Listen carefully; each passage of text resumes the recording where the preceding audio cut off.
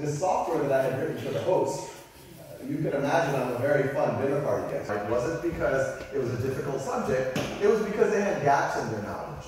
Uh, they might be in algebra class, but they had some gaps in dividing decimals.